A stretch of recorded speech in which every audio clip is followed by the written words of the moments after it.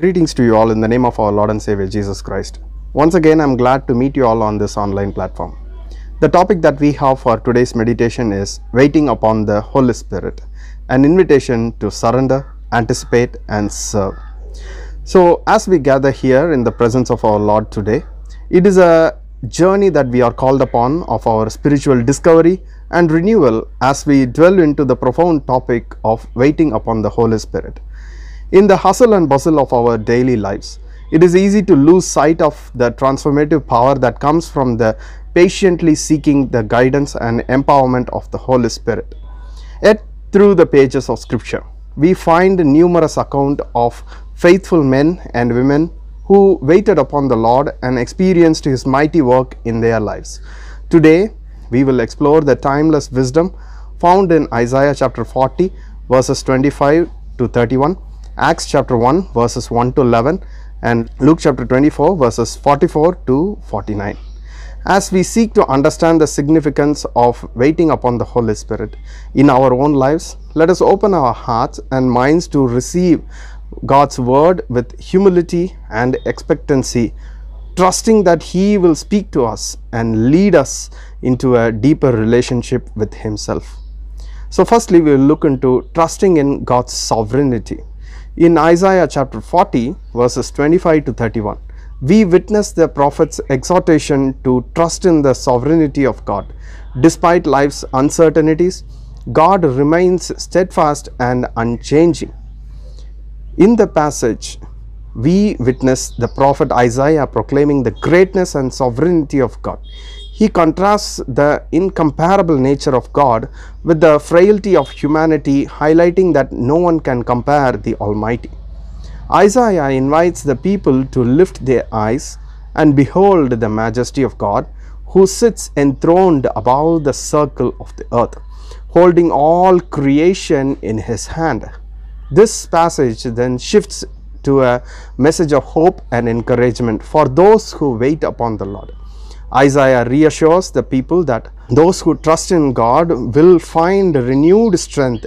He uses vivid imagery to depict the transformative power of waiting upon the Lord, likening into the soaring of eagles, running without growing weary, and walking without fainting. This is a powerful reminder that we will place our trust in God and patiently wait upon Him. He will produce us with the strength and endurance needed to navigate life's challenges. Imagine a mighty eagle soaring high above the storm, its wing outstretched, effortlessly riding the currents of the wind. Like the eagle, when we wait upon the Holy Spirit, we gain the strength to rise above life's challenges and soar on the wings of faith. Let us surrender our anxieties, fears, and uncertainties to God, trusting in His perfect timing and unwavering love as we wait upon the Holy Spirit.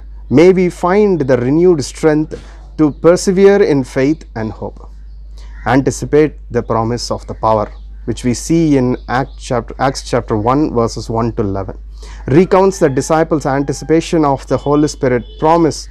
Jesus instructs them to wait in Jerusalem until they receive the power from on high.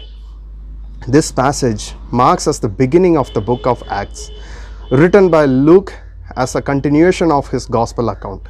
Here, Luke provides a brief summary of the events following Jesus' resurrection and his interaction with the disciples during the 40 days before his ascension. Jesus appears to the disciples and speaks to them about the kingdom of God, instructing them not to leave Jerusalem but to wait for the promise of Father, the Holy Spirit.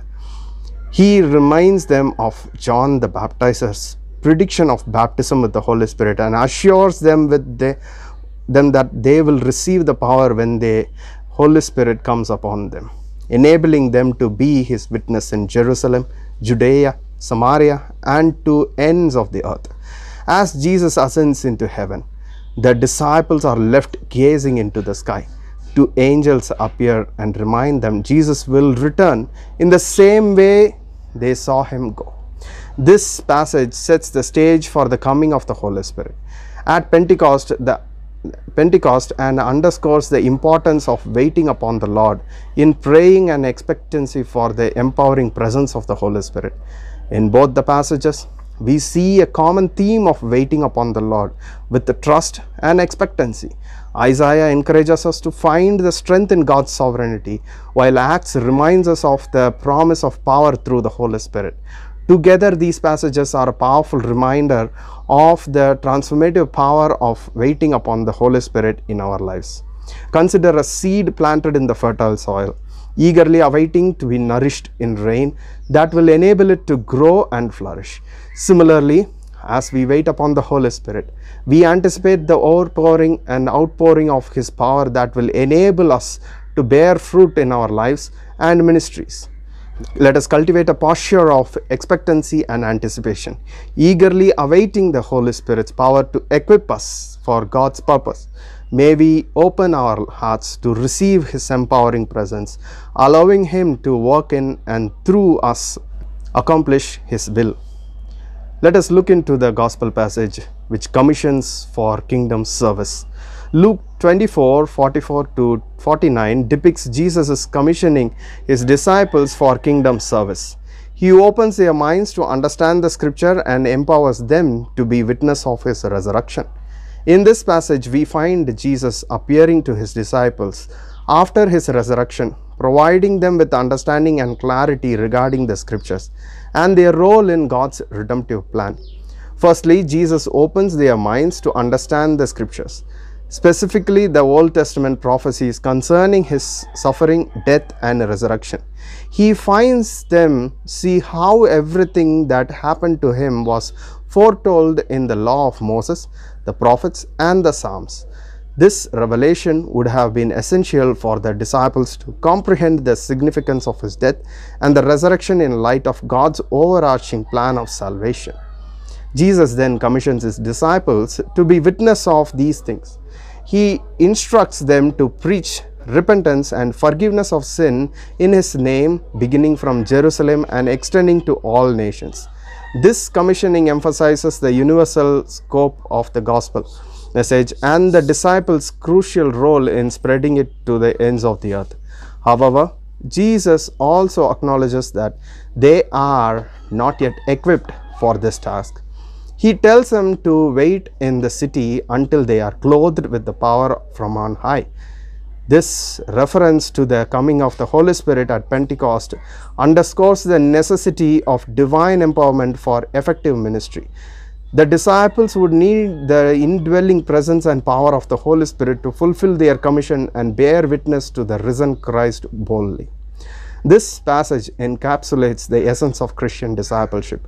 Understanding the scriptures, proclaiming the gospel, and relying on the empowering presence of the Holy Spirit. It reminds us that our faith is grounded in the testimony of scripture. Our mission is to proclaim the message of salvation to all, and our ministry is empowered by the Holy Spirit.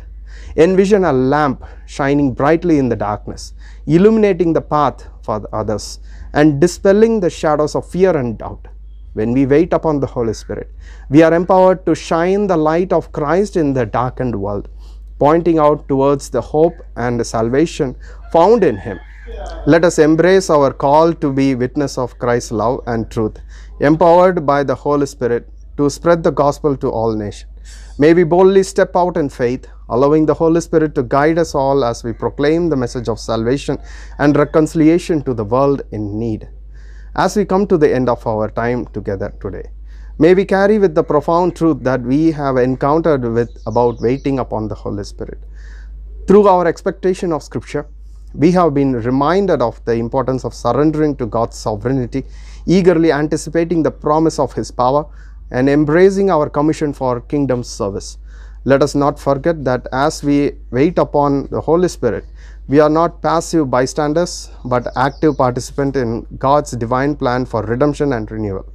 As we leave this sacred place, may we continue to cultivate and posture of faith and expectancy, trusting that God is at work in our lives and in our world around us. May we wait upon the Holy Spirit with eager hearts, knowing that He will renew our strength, empower us for kingdom work, and lead us into the deeper relationship with our Heavenly Father. Let us go forth as ambassadors of Christ, empowered by the Holy Spirit to shine His light in darkened world, proclaiming the good news of salvation to all who hear. May our lives be a testament to the transformative power of waiting upon the Holy Spirit as we seek to glorify God in all that we do. May God enable us with the Spirit and strengthen us to carry forward the mission that is in our hand.